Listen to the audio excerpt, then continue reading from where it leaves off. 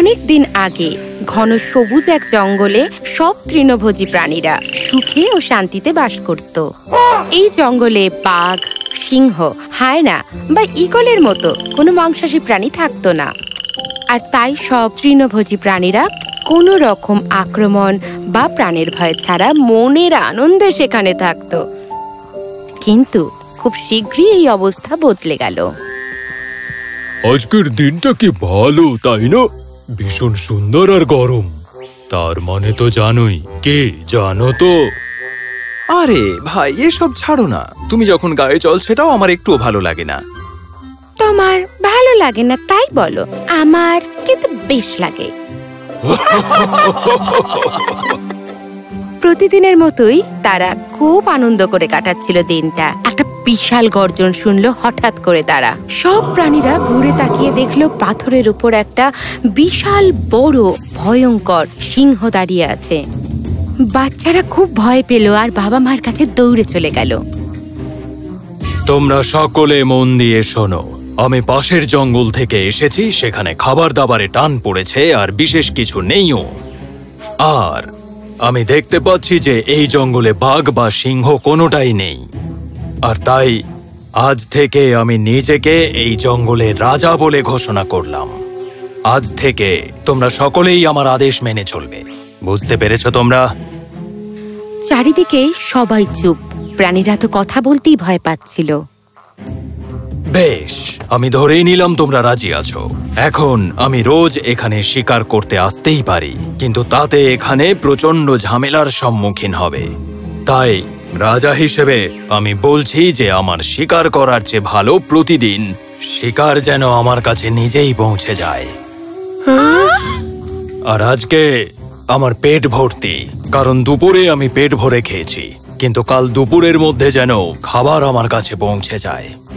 সেটা তোমাদের মধ্যে যে কেউই, একটু বড় সড়ো হলেই ভালো হয়। এখন আমি একটু বিশ্রাম নিতে যাচ্ছি। তোমরা যেতে পারো। সিংহটি চলে গেলেন সেই গুহায় যেটা তিনি তার নিজের বলে ঘোষণা করেছিলেন। ইতিমধ্যে হাসি খুশি জঙ্গলের পরিবেশে নেমে এলো বিষাদের ছায়া। তারা সকলেই খুব ভয় পেয়ে গেছিল। তারা সবাই শান্তভাবে নিজের বাড়িতে ফিরে গেল। সেই রাত, সেই ভয়ানক রাতটা ছিল দীর্ঘ, শান্ত আর ভয়ঙ্কর। যতক্ষণ না হাতি আলোচনা ডাকলো সকলকে নিয়ে কে পরের দিন সিংহের কাছে যাবে? প্রচুর আলোচনা হলো কিন্তু কাউকেই রাজি করানো গেল না। চলো আমরা সবাই এই জঙ্গল ছেড়ে পালিয়ে যাই। পালিয়ে কোথায় যাবে? তোমরা শুনলে না? পাশের জঙ্গল পুরোটা শুকিয়ে গেছে সেখানে আমরা যেতে পারব না। আর তারপরে যত দূর চোখ যায় শুধু পাহাড় আর পাহাড়। আমরা এখানেই আটকে পড়েছি। অনেকক্ষণ আলোচনা হতে থাকল। শেষে একটা খরগোশ এগিয়ে এলো। আমি যেতে পারি। সবাই অবাক হয়ে গেল। তোমাদের সবার পরিবার আছে কিন্তু আমার যে কেউ নেই। আমি মরলে কেউ কাঁধার নেই। বরং আমি কালকে চলে যাই। তাহলে তোমরা সকলে তোমাদের আগামী দিনের জন্য প্ল্যান করে নিতে পারবে। এই বলে খরগোশটি চলে গেল। পরের দিন দুপুরবেলা সিংহটি গুহা থেকে বেরিয়ে প্রচণ্ড রেগে গেল আহ কোথায়? আমার খাবার কোথায়? আমার খুব খিদে পেয়েছে। এই পশুগুলোকে একদিন মজা দেখাতে হবে।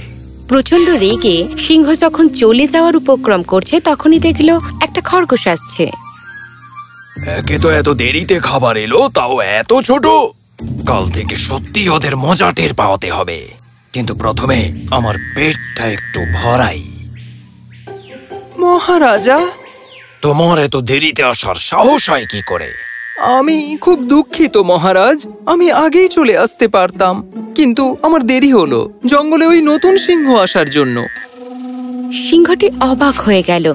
আর একটি সিংহ এই জঙ্গলে? আমাকে তুমি ওই সিংহটার ব্যাপারে সবকিছু খুলে বলো। সেই সিংহটা আমায় খেতে চেয়েছিল। কিন্তু আমি তাকে বললাম আমি আসলে আপনার কাছে আসতে চলেছি। শুনে সিংহটা খুব হাসলো। সে বলল আসল রাজা নিজে শিকার ধরে খায়। আরও বলল আমি যেন আপনার মতো দুর্বলের কাছে নত না হই। এটা ওর কথা মহারাজ আমার না।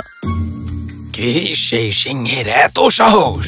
আমাকে এক্ষুনি ওর কাছে নিয়ে চলো। হ্যাঁ মহারাজ ওই সিংহটাও আপনার সাথে দেখা করতেই চায়। ও আমাকে এই জন্যই ছেড়ে দিল যাতে আমি আপনাকে গিয়ে খবরটা দিতে পারি। ও বলল ওই জঙ্গলের নতুন রাজা। সিংহটা রাগে থরথর করে কাঁপতে লাগল।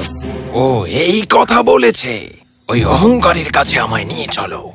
কিন্তু মহারাজ আমার মনে হয় না যাওয়াই ভালো। একে তো ওর খুব শক্তি তাছাড়াও একটা দুর্গের ভেতর থাকে। হ্যাঁ তোমার মতো ক্ষুদ্র খরগোশ আর রাজার সম্মান কি বুঝবে? আমাকে চ্যালেঞ্জ করে এই জঙ্গলে কেউ টেকতে পারবে না। নিয়ে চলো তো দেখি আমায় সেই ভণ্ড রাজাটার কাছে। তখন খরগোশ সিংহকে নিয়ে জঙ্গলের অন্য প্রান্তে গেল যেখানে একটু ফাঁকা জায়গায় একটা পাতকুয়ো আছে। মহারাজ ওই সিংহটা এই কুয়োটার মধ্যে থাকে। সিংহটি তখন কুয়োর দেওয়ালে উঠে নিচের দিকে তাকালো। সেখানে দেখল একটা সিংহ তার দিকে তাকিয়ে আছে। বোকা সিংহ বুঝতে পারল না যে ও নিজের ছায়াই দেখছে।